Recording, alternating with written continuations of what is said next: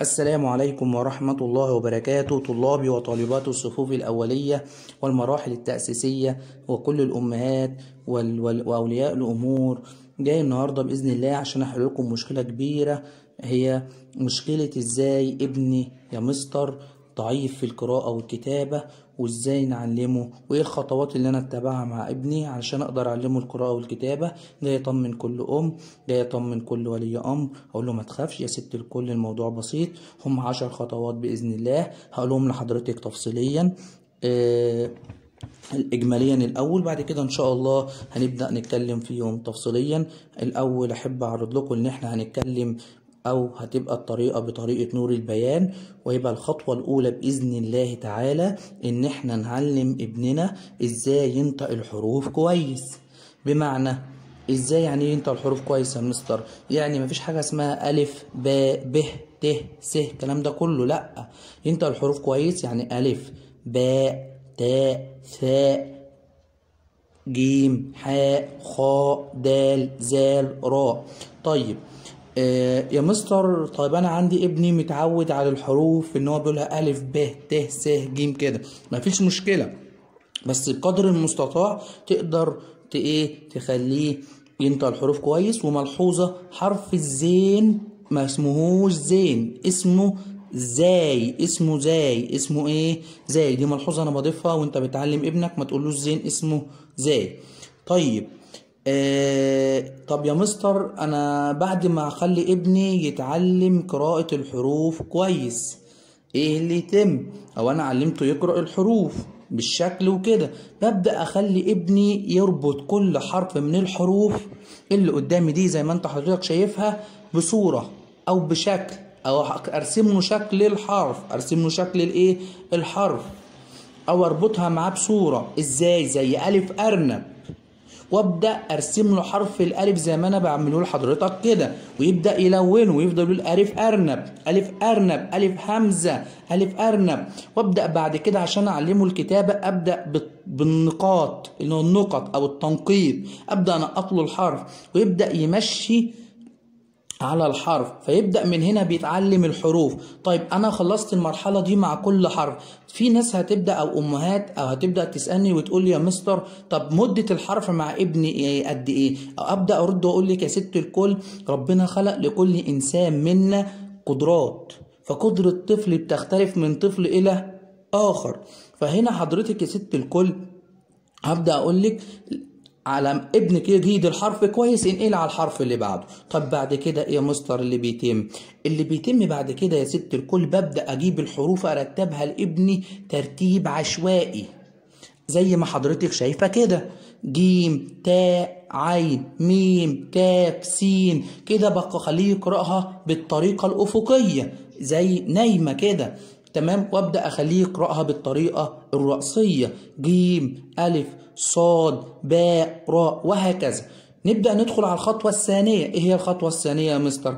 أبدأ أعرف ابني إن في حاجة اسمها حروف لثويه الحروف اللثوية يعني إيه؟ هي التي تخ... مخرجها يكون مخرجها من طرف اللسان. المخرج بتاعها بيكون من طرف اللسان. يعني بتتنطق وأنت بتطلع لسانك يا حبيبي. إزاي؟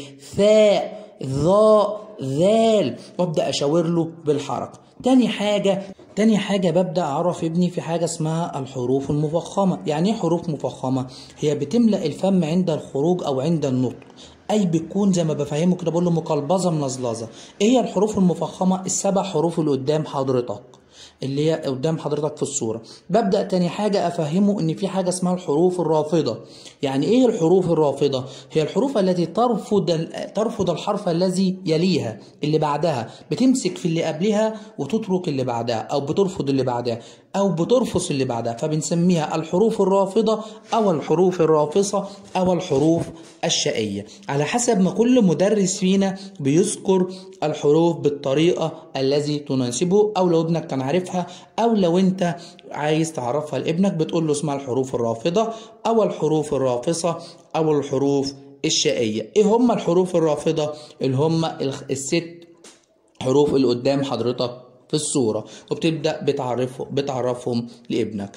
الخطوة الثالثة ببدأ أعرف لابني أشكال الحروف. يعني إيه أشكال الحروف؟ عندي حاجة اسمها أشكال الحروف ومواضعها. يعني إيه أشكال الحروف ومواضعها؟ ركز معايا حضرتك زي ما أنت شايف كده في الصورة اللي قدام حضرتك.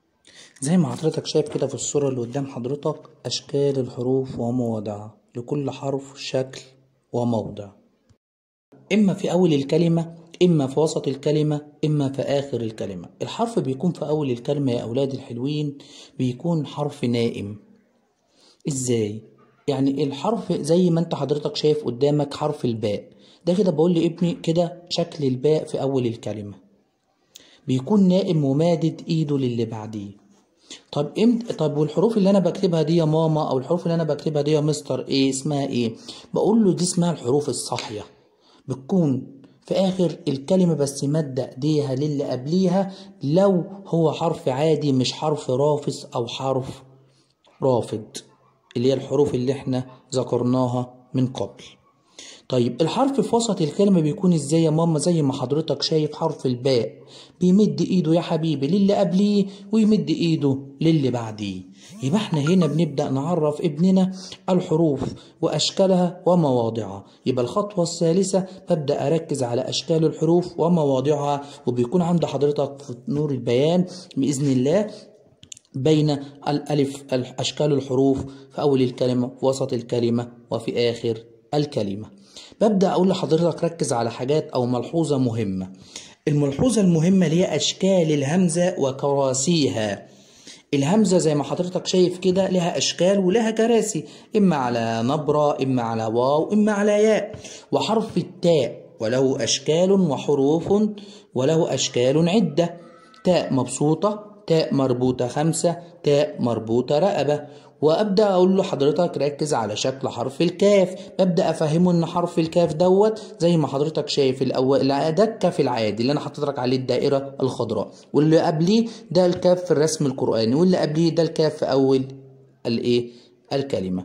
وأبدأ أذكر له حرف الهاء له أشكال عدة هاء عادية وهاء فيونكه وهاء مربوطة خمسة.